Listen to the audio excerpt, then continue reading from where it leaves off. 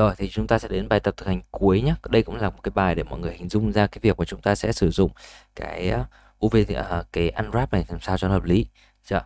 Rồi thì bây giờ mọi người thấy là khi mà chúng ta sử dụng cái UV cap map cho những cái đối tượng vật thể như này thì chắc chắn là texture của chúng ta nó sẽ không được đẹp. Để mọi người sẽ thấy rõ đúng không? Là nó không thể nào mà nó đẹp được. Tương tự với cả những cái phần khác thì chắc chắn nó cũng sẽ không thể nào đẹp được. Đó mọi người sẽ thấy là những cái đoạn này nó cứ bị giãn mà không theo ý mà mình muốn này đấy bởi vì cái giới hạn của UV kép map thì nó chỉ như thế thôi. Nó chỉ được như vậy thôi. Đó mọi người sẽ thấy là nó sẽ không được ngon. Thì bây giờ mình sẽ cố gắng biến từ những cái đối tượng mà nó nó không ngon như này sang cái đối tượng nó ngon đét đẹp như này nhá. Ok. Thì uh, đầu tiên là cái chương trình của chúng ta bây giờ thì vẫn sẽ phải nghiên cứu để unwrap thôi được chưa? Tuy nhiên thì có thêm một cái script nữa để giúp chúng ta hoạt động nhanh hơn đó là UV tool. Thì mình sẽ kéo cái script UV tool vào đây. Rồi và mình chọn là install. Rồi ok install complete được chưa? Rồi thì chúng ta sẽ có một cái UV tool ở đây. Đó. Thì bây giờ mình sẽ lấy ví dụ với cả những cái mẫu gối này trước nhá, để mọi người hình dung ra được chưa? Mình sẽ open bên này ra, để chúng ta sẽ lấy được những cái đối tượng chúng ta tham khảo sang, để chúng ta hình dung. Rồi.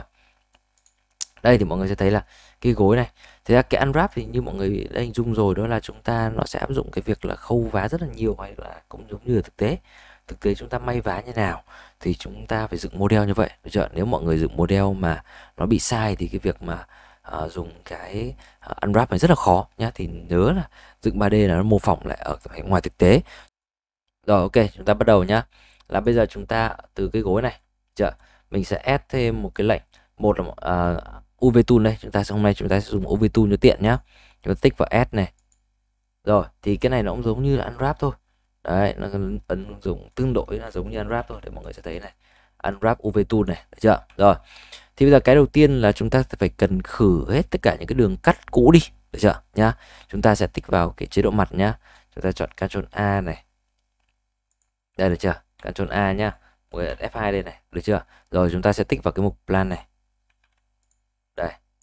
Nha mọi người tích vào đây cho mình rồi, để nó xóa hết tất cả những cái đường cắt đi. Thì sau khi xóa xong rồi thì bây giờ chúng ta mới bắt đầu chọn chế độ cạnh này. Chưa?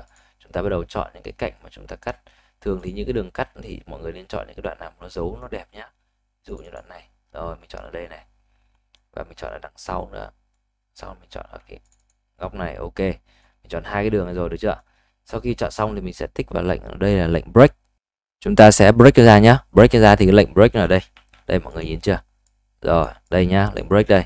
Chúng ta sẽ break ra. Đó ok. Xong thì bây giờ chúng ta khi mà đã tách được như thế rồi mọi người nhớ kiểm tra nhé đây là model này dựng rất là đẹp. À, kiểm tra thì bây giờ chúng ta sẽ tích vào chế độ là điểm. À, chế độ mặt được chưa? Rồi chúng ta sẽ chọn theo khối nhá. Rồi ok chọn được cái này rồi. À, chọn tiếp nào. Rồi ok. Vậy là chúng ta đã chọn được rất là ổn rồi.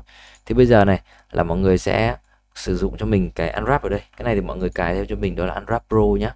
Chưa ví dụ như mình sẽ chọn là tất cả các mặt này. Chưa chúng ta sẽ dùng unwrap pro. Đó, unwrap pro chúng ta sẽ unwrap.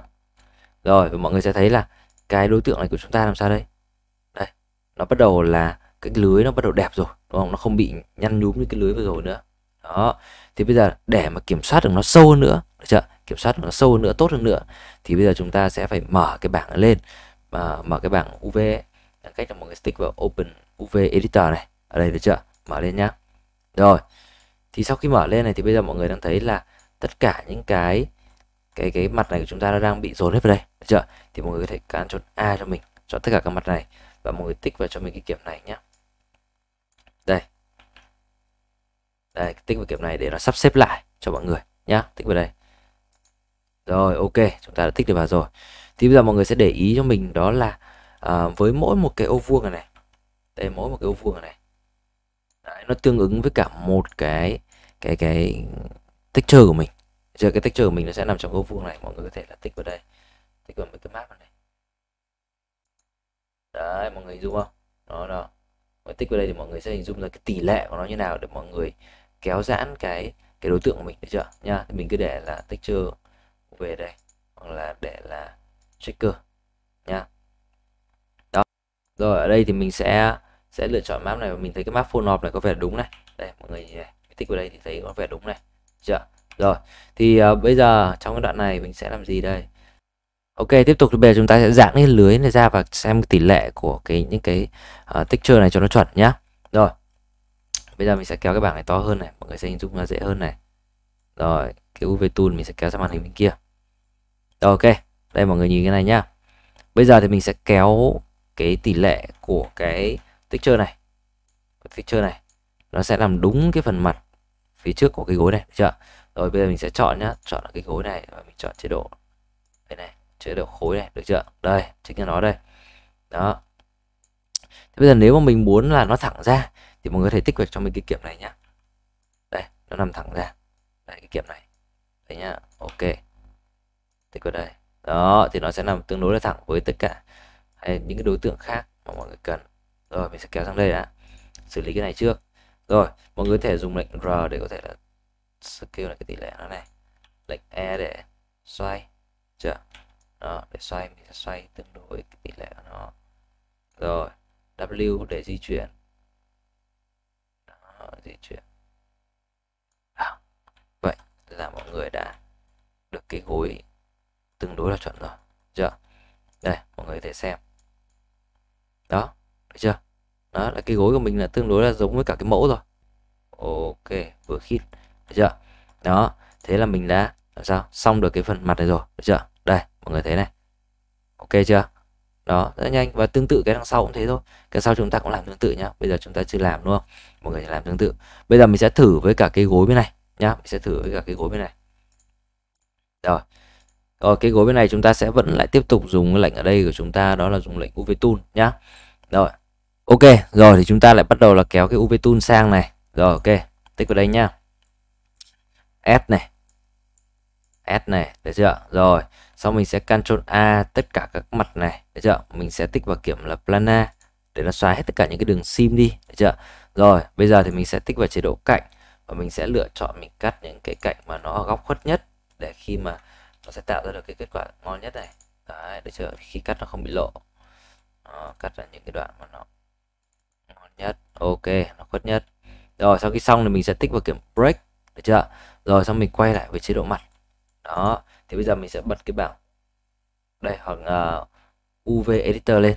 Được chưa? Rồi ok. Đó. thì nếu mà mọi người uh, rồi bây giờ sau khi bật lên thì mình lại làm gì đấy? Tiếp tục các bước là mình chọn Ctrl A mình chọn tất cả các mặt đúng không ạ? Mình sẽ làm gì? Mình sẽ là tích vào kiểm này để nó sắp xếp lại cho nó hợp lý. Rồi thì nếu mà mọi người muốn là những cái mặt này của chúng ta nó giãn đẹp hơn nữa thì chúng ta có thể tích vào cái kiểm unwrap này. Cho unwrap pro để cho nó giãn hết cỡ được chưa? À, nó giãn hết cỡ những cái cái ờ, khối này của chúng ta ra cho nó đẹp nhất. Đó.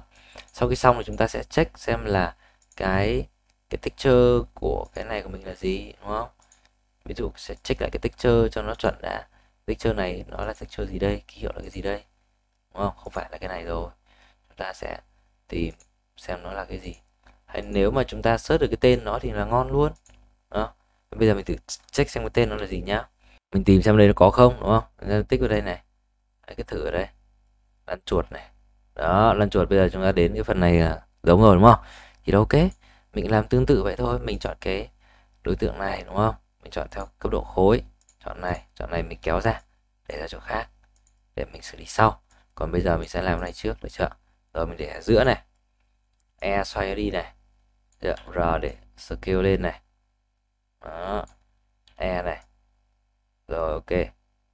Đó. Thì ra cái này làm rất dễ thôi. Nó chỉ quan trọng cái khâu là chúng ta dựng hình, làm sao để cho nó ngon nhất thôi. Đó. Được chưa? Dựng hình nó phải chuẩn với cả thực tế nhất. Chứ còn làm này thì có gì đâu. Nó mọi người thấy mình làm chỉ một vài bước thôi là ngon rồi đó được chưa? Đó thế là chúng ta đã xong rồi đúng không? Thậm chí bây giờ mình muốn tích thêm một kiểu này này. Đấy, được chưa? Tích vào đây để mình căn chỉnh thêm mấy cái đối tượng này nữa. Ví dụ cái này chúng ta làm tương tự e để chúng ta xoay đúng không? R chúng ta scale lên. Đấy, scale lên vừa phải thôi. E chúng ta lại xoay tiếp. Kéo nó vào giữa được chưa? Tương tự với cái này cũng thế này. Xoay này r này scale lên này. Scale lên này rồi ok. Scale lên này. Lại tiếp tục là gì đây? W di chuyển nó. Đó thế là xong đúng không? Thế là mình đã xong cái gối này rồi. Đây mọi người thấy này cái gối này ngon luôn đúng không? Đó ổn thôi. Đấy thế thôi có cái gì đâu đơn giản thôi nhá. Thì mọi người có thêm một cái công cụ là UV tool ở đây nó rất là tiện được chưa? Rồi thế bây giờ mình sẽ xử lý cái đối tượng này đi cho nó phức tạp hơn đi. Đấy, cái đối tượng này. Đối tượng này bây giờ thì mình cũng tương tự như vậy nhá mình cũng sử dụng là lệnh UV tool này. Chưa? Mình là gì đây? Mình add vào đây. Rồi, bây giờ mọi người thấy là add vào nó quá là nhiều thứ đúng không? Chúng ta lại tương tự, đó là chọn chế độ mặt chưa? Chúng ta làm gì đấy lana nó ra, để nó xoáy đường sim đi chưa? Sau chúng ta lại vào chế độ là cạnh chúng ta chọn những cái đường sim hợp lý nhất. Ví dụ như đoạn này thì à, mình thấy là nó đoạn giao ngăn ở đây này, chọn đây này phải để ý kỹ nhá. Ok, được, sim đấy có vẻ là bạn dựng hình bạn làm rất là ổn, đúng không? Đấy, tương tự bên này. Mình cũng như thế. Mình chọn cái dọc này. Rồi, bạn dựng hình, phần này bạn làm rất là ổn. Đó. Ok. Thì sau khi xong này, thì bây giờ chúng ta làm gì? Break nó ra. Đấy, break nó ra thì chúng ta sẽ được hai ờ, bốn miếng, đúng không? Một miếng này, hai miếng này, ba miếng này và bốn miếng này, đúng không? Đó. Đấy. Sau khi xong thì bây giờ chúng ta làm gì đây? Chúng ta uh, mở cái bảng UV editor lên. Rồi ok đúng chưa? Chúng ta lại chọn chế độ mặt chọn A và tích vào kiểm gì? Tích vào kiểm sắp xếp vào đây để nó sắp xếp ra. Đó. Bây giờ mọi người sẽ thấy là cái đối tượng này của chúng ta nó đang ra đây nó đang bị giãn quá đúng không? Tích vào unwrap. Đấy, cứ giữ unwrap này để cho cái đối tượng chúng ta nét căng nhất. Này mọi người thấy chưa? Đối tượng chúng ta nét căng nhất ở đây. Xong mình lại tích vào đây để sắp xếp các miếng vào trong vị trí đúng. Đó, đó ok chưa? Rồi. Thế thôi, đúng không? Bây giờ này, mình sẽ xem xem là cái miếng này của mình ở đâu. Cái miếng này là miếng nào? Bây giờ mình lại chỉ chọn một miếng thôi. Miếng này của mình là miếng nào? Cho nó khối, đúng không? Đây, được rồi. Bây giờ mình tìm cái texture tương ứng với của nó. Đấy. Texture của nó đây, đúng không? Đó. Thì bây giờ mình chọn hai cái, hai miếng đấy, đúng không? Còn hai miếng kia hai miếng bên trong. Để ra ngoài. Rồi hàm biếu bên trong này thì bây giờ mình sẽ làm gì đây? Mình sẽ xoay nó đi. Xoay đi này. Chưa? Scale một cái tỷ lệ hợp lý nhất. Cái này thì tùy nhá. Tỷ lệ làm sao cho nó hợp lý là được. Rồi, đó miếng bên này. Chưa? Tương tự miếng này cũng vậy. Mình cũng lại xoay này. Xoay này. Được chưa? Để scale lên một cái tỷ lệ nó hợp lý nhất. Tỷ lệ này hợp lý nhá. Đương nhiên là tỷ lệ này mình cũng phải đánh giá xem là ở ngoài thực tế tỷ lệ như nào, nhá. Kéo xem này, bật hai kiểm lên. Đó, là ok, được chưa? Đó, thì là cái cái cái lớp vải này nó sẽ đi theo hướng mà mình mong muốn chưa? Nó không bị ngắt quãng ở những cái đoạn dao này giống như là ừ, UV map nhá. Đó, ok. Rồi, thì bên trong này cũng tương tự thôi. Mình kéo scale làm sao cho nó hợp lý. Ví dụ như những cái đoạn này, scale nó đang, điểm sao đấy nó đang bị to quá, đúng không? Scale nó nhỏ lại một chút đấy. Đó, ok chưa? Rồi kéo mấy cái đối tượng này. Ở cái này nó đun mà được. Đó thì là xong đúng không? Chúng ta lại xong thêm một cái đối tượng nữa. Đó và cái ờ, những cái texture nó sẽ đi cùng nhau rất là chuẩn như này. Chưa? Và thêm một cái cuối nhá. Cái cuối này để mọi người dùng dễ nhất này. Đấy, cái cuối này. Mọi người có thấy là khi mà chúng ta sử dụng là UV kép map thì nó bị những cái đoạn này không? Rất là xấu đúng không đó thì chúng ta sẽ phải giải quyết nó.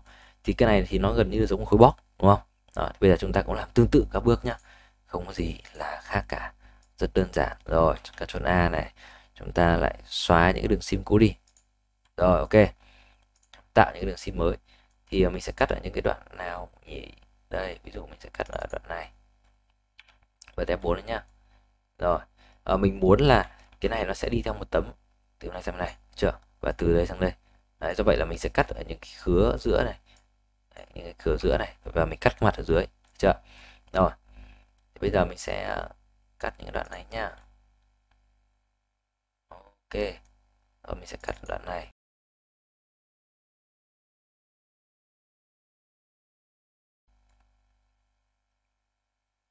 Giữ này ok rồi. Coi như là mình đã kẻ xong những cái đường sim rồi đúng không? Và mình sẽ làm gì đấy mình sẽ dùng là break được chưa? Break ra. Đó break những cái đường này ra xong chúng ta sẽ về là cấp độ mặt là có, có chọn Ctrl A đúng không? Chúng ta lại dùng lệnh unwrap đó ok chưa? Thì bây giờ chúng ta sẽ chia ra nó thành là hai miếng rồi đúng không? Đó để mọi người thấy là hình khối của nó chuẩn rồi. Thì bây giờ chúng ta lại mở lại UV editor lên. Đó và chúng ta sẽ làm gì đấy? Chúng ta sắp xếp nó lại cho chuẩn. Thì chúng ta có miếng trên và miếng dưới nhá đây cái miếng trên chúng ta này. Đấy. trên chúng ta này được chưa? Đó bên trên chúng ta đây. Bên dưới chúng ta để sang một bên. Bây giờ mình trên tôi sẽ làm gì? Tôi sẽ sờ kêu nó lên cho nó chuẩn với các tỷ lệ một chút. Đấy, scale lên. Đây như này. Để mọi người thấy em ra đây. Cái texture này nó đã đi theo chưa? Đi theo rồi đúng không? Mình có thể là scale cho nó nhỏ lại một chút. Đây cho nó ra đây. Đây đây đây. Được chưa? Đó ví dụ như tập này. Đấy, tùy mọi người sẽ thấy là những cái đoạn này những cái đoạn chuyển này này nó sẽ rất là mượt đúng không? À, rất là mượt và nó không có vấn đề là nó bị lỗi ở những cái đoạn cong này giống như là dùng lệnh là UV map nhá. Đó. Ok. Đó thì bên dưới này cũng tương tự vậy thôi nha bên dưới này mình chỉ cần là scale cái miếng này lên là xong. Đây, chọn cái kiểu này chọn khối này. Đây đây đây chọn cái chọn cái khối này rồi cái này mình sẽ để dịch cái này một chút lấy cái này sang này. Rồi. Ok. Rồi ok cái tương tự thế này thì mình cũng thế. Mình cũng sẽ phải scale. Đó như này. Được chưa? Đó thế thôi. Rất đơn giản đúng không? Cái này nó còn áp dụng với cả sàn gỗ nữa cơ. Sàn gỗ mọi người cũng làm này có thể là thậm chí là thay thế cho cái cái ờ, uh, multi subject hay là corona multi là hoàn toàn thể thay thế được. Chỉ cần một từ một tích chơi gỗ là chúng ta sẽ làm cho cả sàn nhá. À, mọi người nên thử cái đấy đi. Nếu mọi người không thử được cái đấy à, hay là mọi người thử cái sàn gỗ mà bị lỗi thì mọi người comment ở dưới để mình hướng dẫn mọi người cách làm sàn gỗ nhá. Còn về cái UV tool này à, cũng như là cách gọi sử dụng unwrap này thì mình nghĩ là qua video này chúng ta sẽ chắc chắn là sẽ hiểu rõ hơn và chúng ta sẽ làm tốt thôi nhá. Mọi người cứ nhớ cho mình một cái vấn đề là ở thực tế người ta cắt ghép đối tượng như nào? Bây giờ người ta à, hình dung là ở thực tế thì những cái texture nó phân bổ như nào? Thì ở trong 3D chúng ta cũng sẽ cố gắng chúng ta dựng hình dựa theo thực tế và chúng ta dùng cái UV tool này để chúng ta làm texture là được ok ạ đó thì đó là cái kết thúc của cái ờ, phần cuối cùng về hướng dẫn unwrap này Chợ, cảm ơn mọi người đã lắng nghe nhé. Mọi người nhớ để lại một like, một share và comment những cái điều thắc mắc ở dưới bình luận nhé.